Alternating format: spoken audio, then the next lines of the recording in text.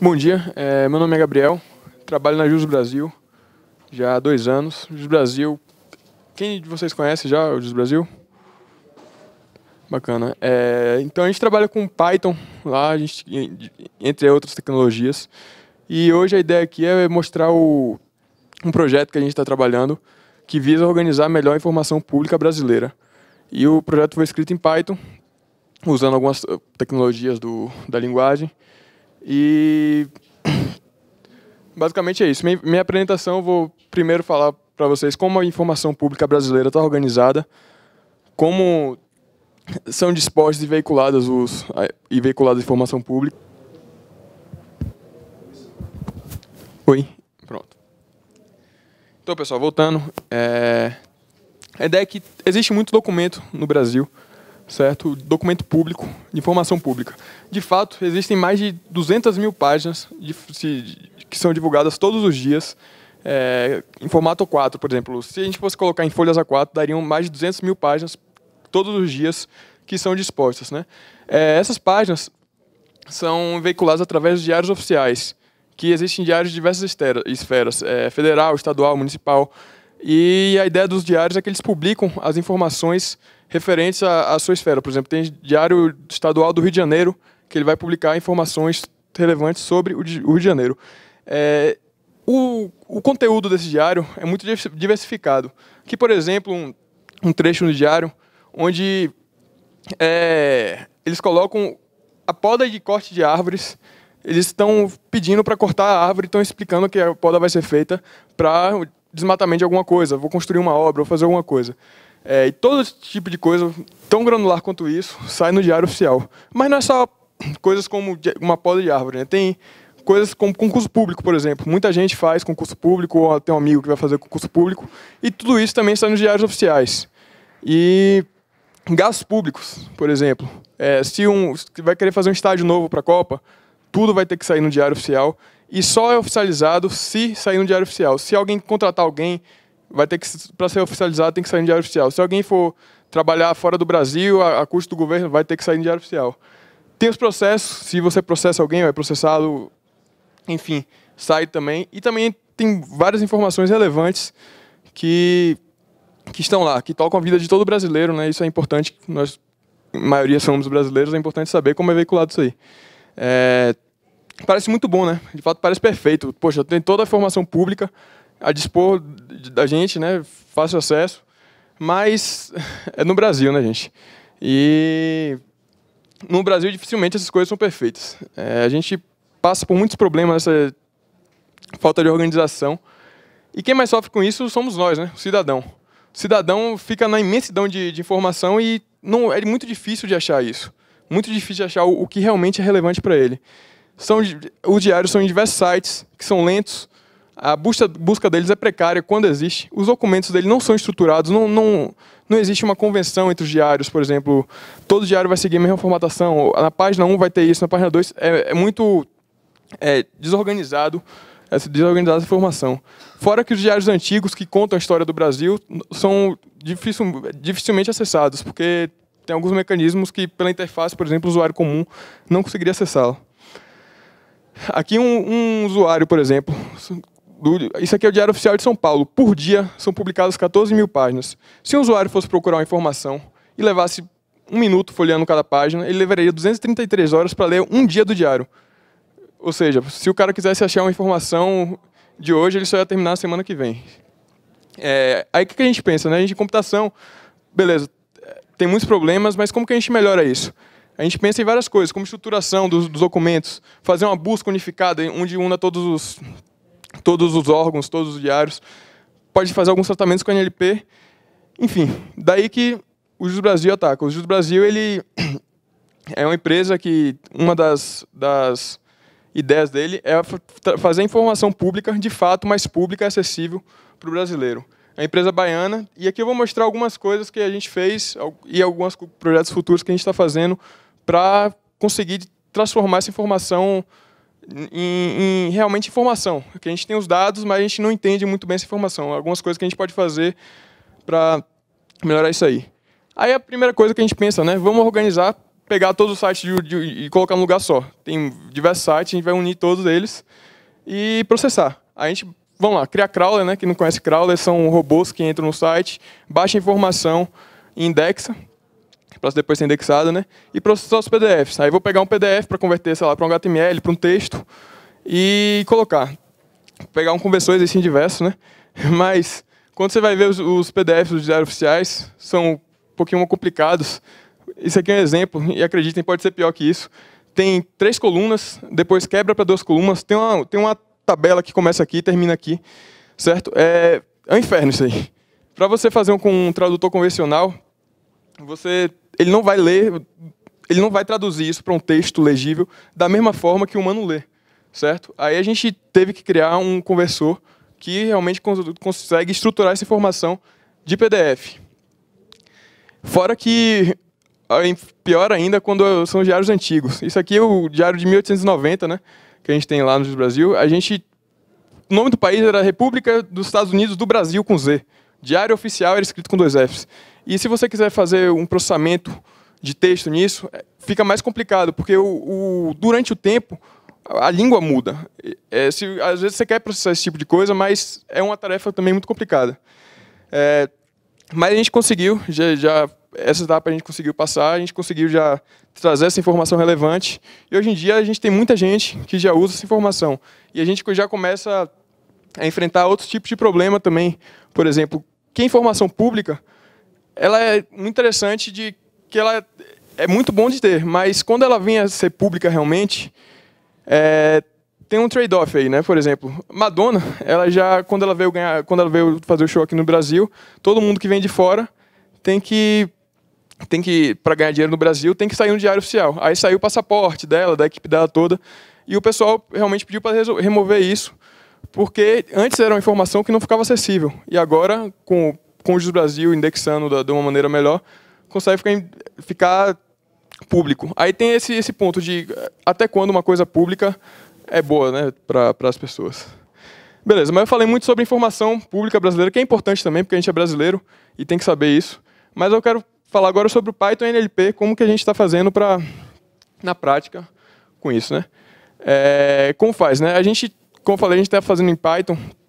É, a gente já tinha alguns desenvolvedores já que já sabiam bastante Python e outros que vinham de background de Java, por exemplo. E a gente começou a fazer com Python por, por conhecer, algumas pessoas já conheciam algumas ferramentas. E as ferramentas para esse tipo de problema em Python são muito boas e resolviam o nosso problema, pareciam ser a escolha certa. E então é muito mais fácil também que a gente precisava de uma coisa plausível, rápido, de ser colocado em produção. E a gente escolheu Python pela facilidade e pelas ferramentas e também por diversos fatores. Então, a primeira coisa que a gente descobriu que a gente tinha que fazer, né, que é muito importante, é a identificação de entidades nomeadas, que é Name Identity Recognition, NR, que consiste em você identificar dentro de um texto suas entidades. Por exemplo, eu vou identificar um órgão, uma pessoa, uma data, um ato, enfim, vou identificar entidades nela. Isso é, é útil porque para algumas tarefas de, de, de NLP, né, que é processamento de linguagem natural, as entidades são usadas como características para outras coisas. Aí, para você fazer uma coisa para organizar, você precisa das entidades. É um ponto muito importante na hora de, de trabalhar com, com processamento de linguagem natural. Por isso que existem já diversas pesquisas nesse sentido. É, só só para ficar mais claro aqui, mais demonstrado com exemplo, é, por exemplo, aqui, o ministro do Estado-chefe. Isso aqui é uma pessoa. Eu, não, eu, desculpa, isso aqui é um cargo da Controladoria Geral da União, que é um órgão Beleza. Não usa competência que ele foi subdelegado pelo artigo 1 da portaria. Isso aqui é um ato, número do ato, ministro do Estado-chefe, da Casa Civil, que é um órgão, data e uma ação, beleza? Ou seja, a gente tem diversas entidades aqui que são úteis para o processamento. E algumas delas, inclusive, são de domínio específico jurídico. A gente... Existem alguns, alguns, alguns extratores de entidade que funcionam em outro tipo de texto, principalmente no, inglês. No inglês é muito bom, não são muito bons conversores de, de identificador de entidade. No português existem alguns trabalhos assim, mas para a linguagem jurídica tem todo um, um, linguajar diferente, tem todo um, tem todos um, um set de características próprios da, da linguagem jurídica que a gente tem que ter que atacar. É, a gente resolveu fazer isso com machine learning. Normalmente é usado com machine learning isso.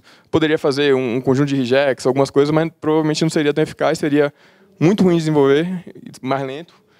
E é o jeito mais elegante de fazer que a gente achou, né? E então machine learning que consiste basicamente em você, é, para quem não conhece, né, que você vai transformar um, você vai ensinar o computador.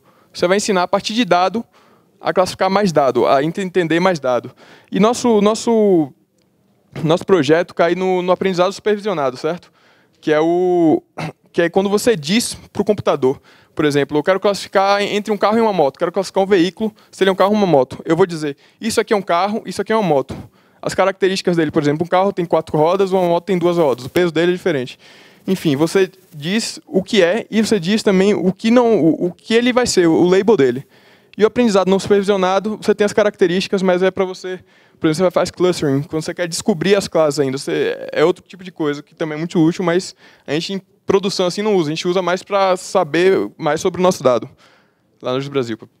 Certo.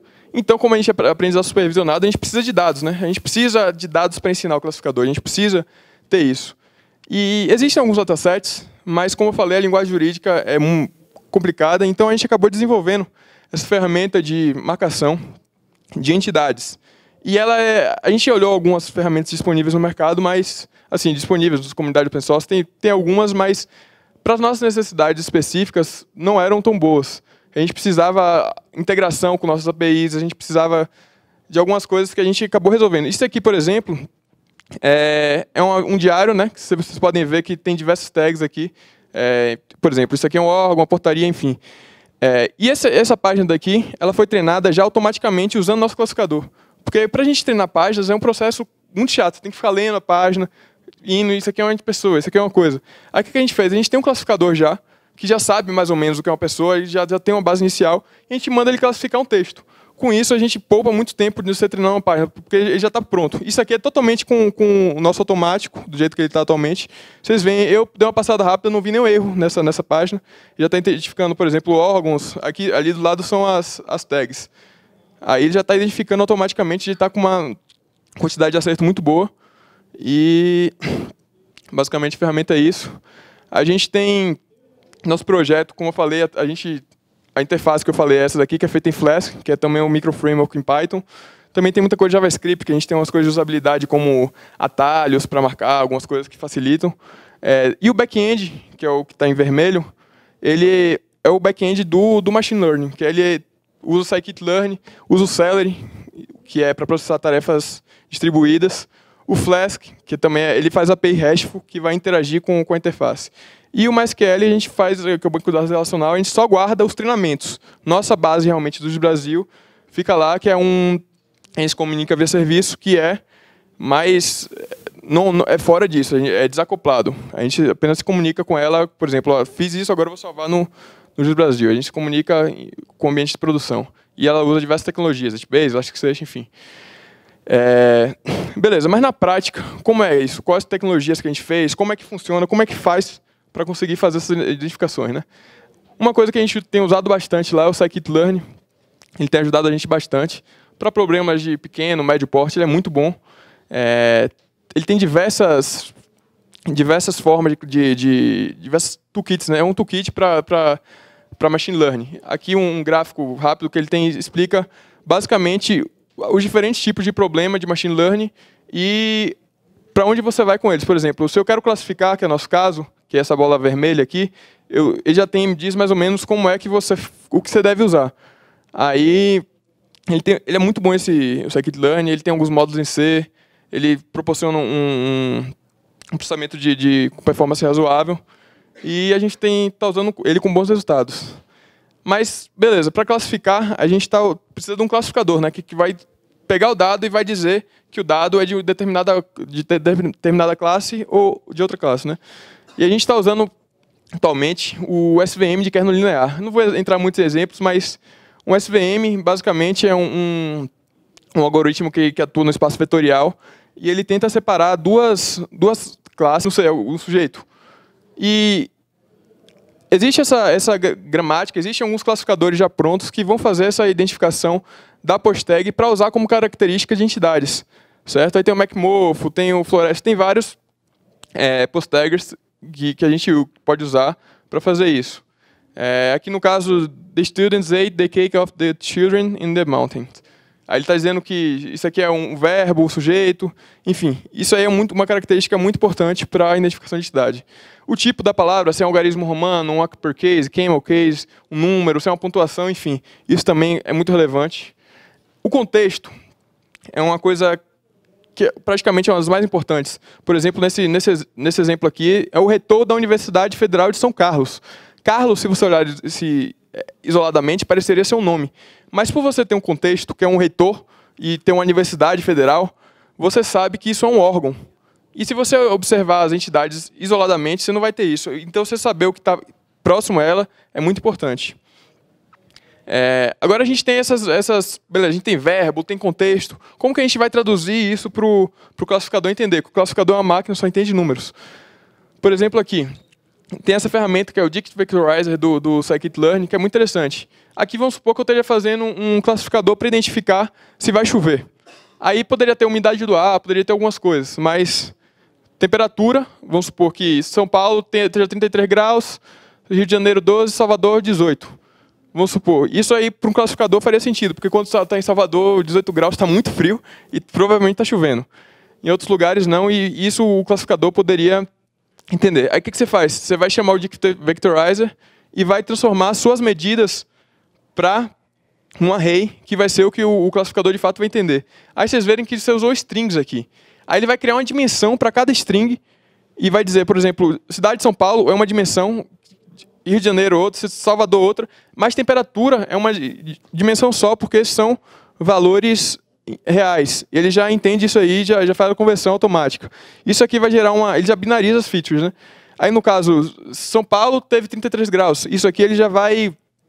Está dizendo que é 1 porque é São Paulo. Aqui vai ser Rio de Janeiro, vai estar tá 1 aqui. E o Salvador 1 aqui. Ou seja, quando você tiver mil cidades aí, você vai ter uma matriz muito esparsa. Que é uma matriz com muitos zeros. Porque como é binário, normalmente só vai ter uma cidade, você vai ter uma matriz grande e esparsa. E essas matrizes, você vai usar nos classificadores, é, pode ser usado com o SciPy, por exemplo. O SciPy ele usa o NumPy para é, algumas coisas, né? que é o, o SciPy é um, um stack de, de computação científica em Python, que ele já tem algumas formas de armazenamento mais inteligente. Por exemplo, se eu fosse guardar um array grandão, grande parte dos meus arrays é zero, porque como é espaço, Aí ele é vazio, ele já faz algumas otimizações para guardar isso e economizar memória, o que é muito importante na hora do processamento, principalmente quando você está trabalhando com grande conjunto de dados.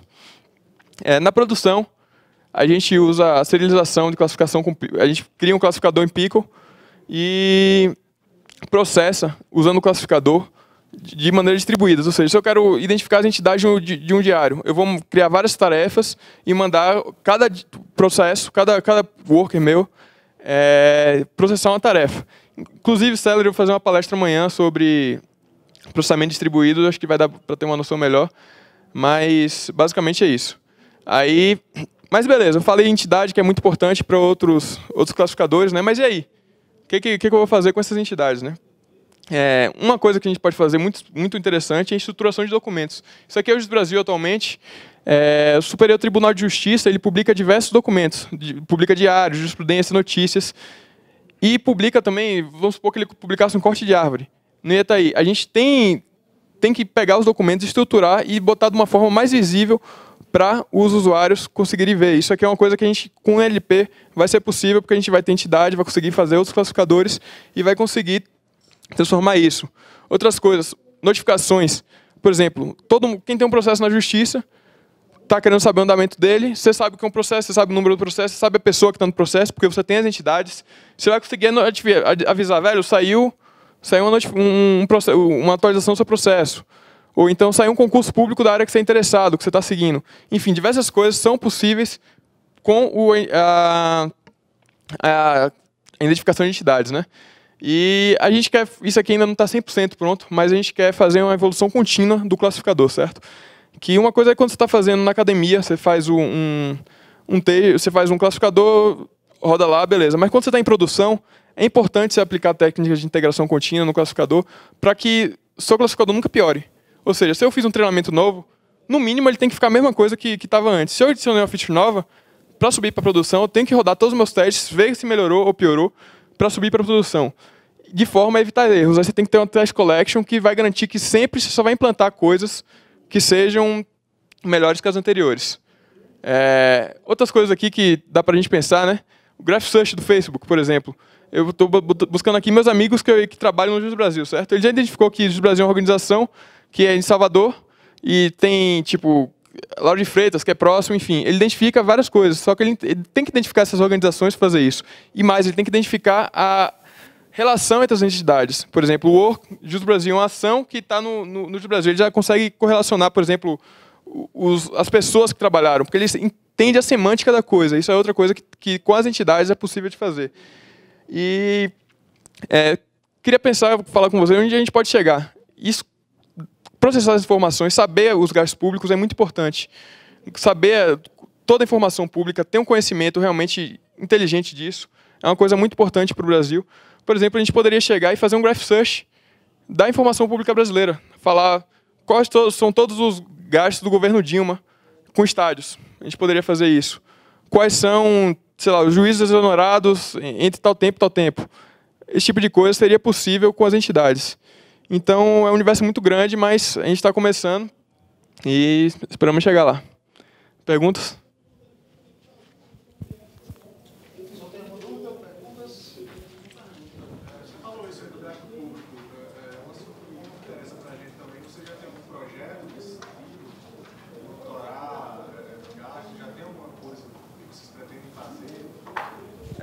assim, com a informação pública já, já estruturada, fica mais fácil a gente ter o, por exemplo, a gente saber o, que os, os projetos de lei, os projetos estão sendo aprovados, estão, estão gastando mais desse, de outro. E é possível a gente ter esse tipo de coisa, mas antes a gente precisa ter essa informação, conhecer mais informação, que uma coisa é a gente ter muito dado, outra coisa é transformar essa informação em informação relevante que a gente consiga direcionar para onde a gente queira. Respondeu?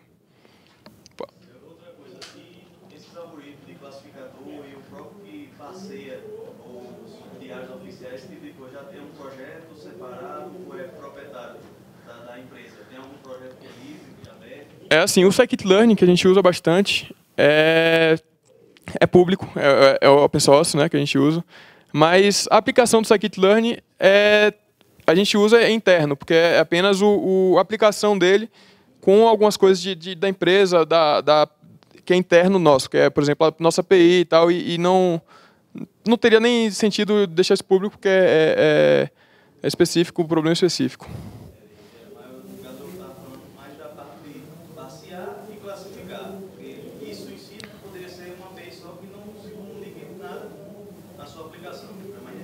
Sim, sim. É, pode ser. Hoje em dia a gente fez meio assim, querendo colocar algo em produção, e a gente fez, ainda não está muito desacoplado assim os modos de forma a gente fazer esse tipo de coisa.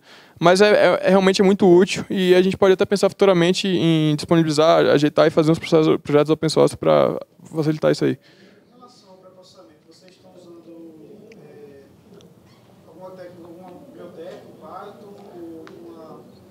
É, as, Assim, o processamento do PDF, a gente...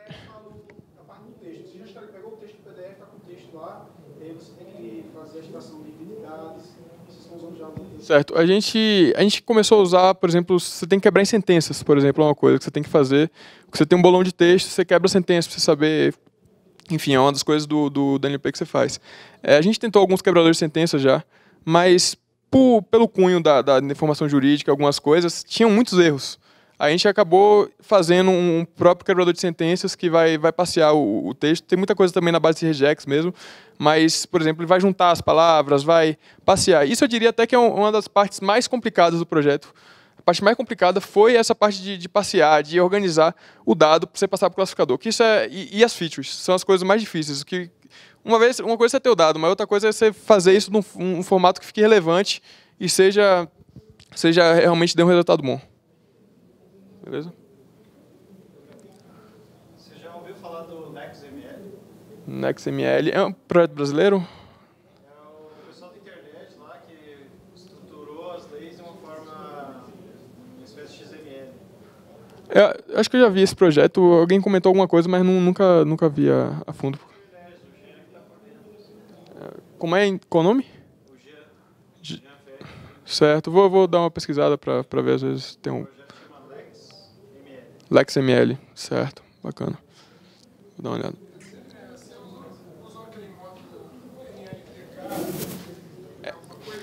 A gente começou usando o LTK, o NLTK. A gente começou fazendo. Porque ele é, é para realmente processamento de linguagem natural, né? A gente começou o quebrador de sentenças dele. O, o ele tem algumas coisas até de, de STEM e tal que a gente usa, mas muito pouco. O classificador, por exemplo, a gente. Só é, a gente tinha feito. Estava usando antes o de máxima entropia, que é o Megan, né?